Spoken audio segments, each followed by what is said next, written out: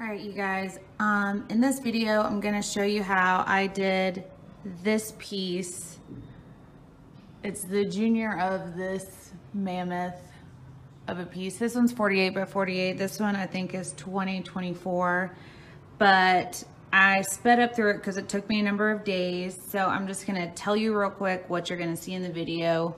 First, I did the gray wash background like by spritzing water and letting it drip and things like that. Then I went in and picked the areas that I wanted to have this red added and I just kept layering deeper and deeper every time. Let that set. Next day, I added um, this gold leaf with um, a special adhesive. I'll link all the materials I used in the comment box below. And then I went over it with um, gold leaf. I can't decide yet if I want to resin her to finish. I think I will, but stay tuned to the end of the video to see how I finished off this piece before I post her for sale.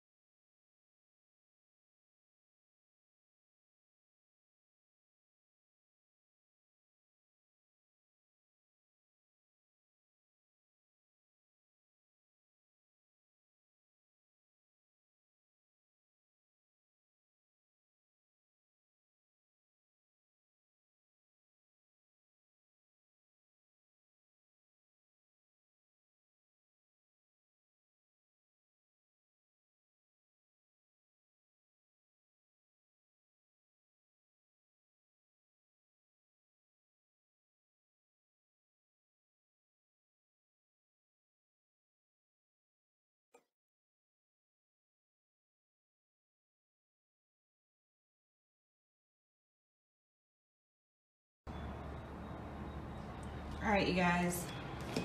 Jeff took all of our camera mounts out to the mural that he's working on today, so I'm doing the best I can with, I can't even explain the rig to you guys. So I'm going to finally finish Bertha. I'm gonna try a couple new things maybe, I don't know. Depends on if I'm brave enough. We'll see. So, um, I'm using Envirotex Lite on this piece. For no other reason than I like how it works. I hope this cup is big enough. I'm not sure how much resin this will take. I'm not doing that much like artwork with it. I'm just giving it a good coat. So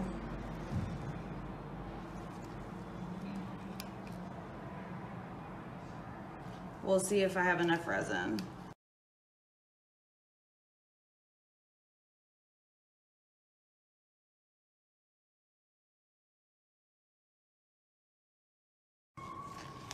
Okay. I've been toying with the idea of adding some glitter, but I don't know if this is like too not really gold. I think it'll probably be fine.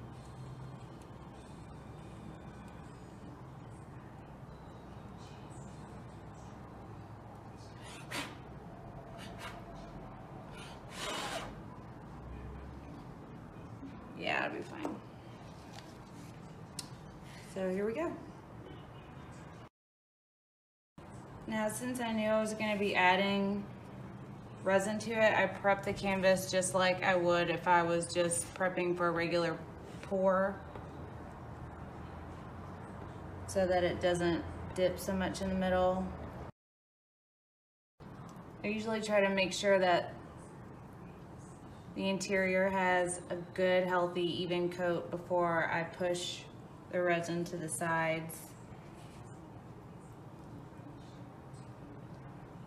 That way as little falls off as possible.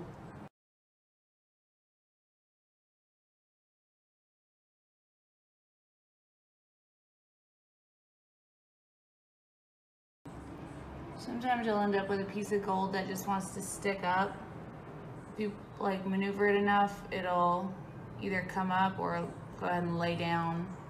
That way you can avoid doing a second coat because that takes time. And it's not a fun time. Then you have to sand it and heat it and alcohol it. And if it can be done in one coat, I'm all for it. Alcohol, I nope. What is this? Resin's expensive.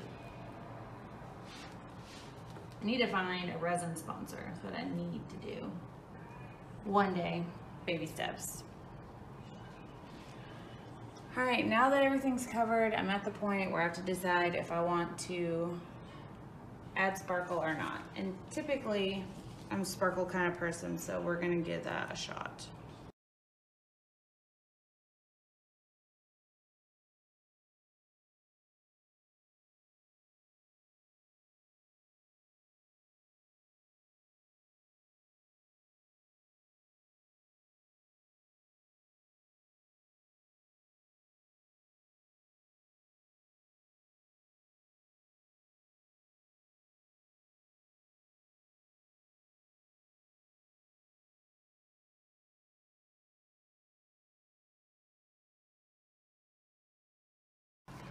Have y'all ever tried to put wet gloves back on? Don't recommend. It's like putting on a wet swimsuit, only with resin. Not fun times. I didn't have this much left over, so we're gonna add it into the mix. I'm adding clear resin over where I have glitter and all of the pigment powder. That's just gonna push around what I already have. So it's gonna make little designs, which I will show you guys when we're done with the whole piece.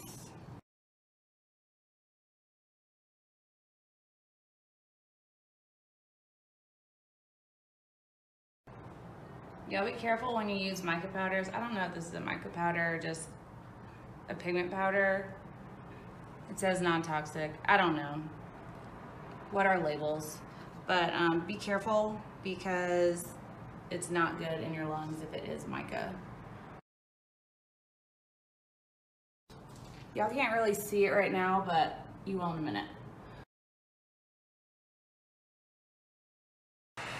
I'm tilting it just a little bit while I add this heat so that it can generate more movement because gravity.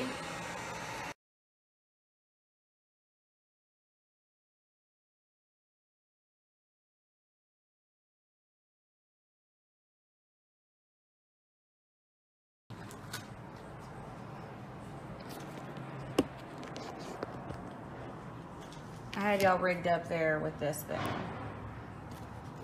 Right? This. On this bar. Like that's where we're at right now. So this is a small version of this. I didn't put the gray in the background like I did in this one.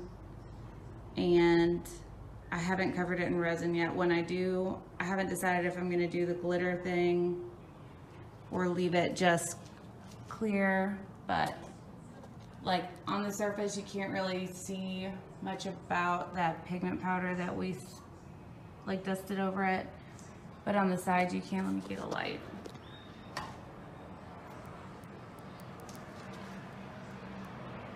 let's see there you can see some of it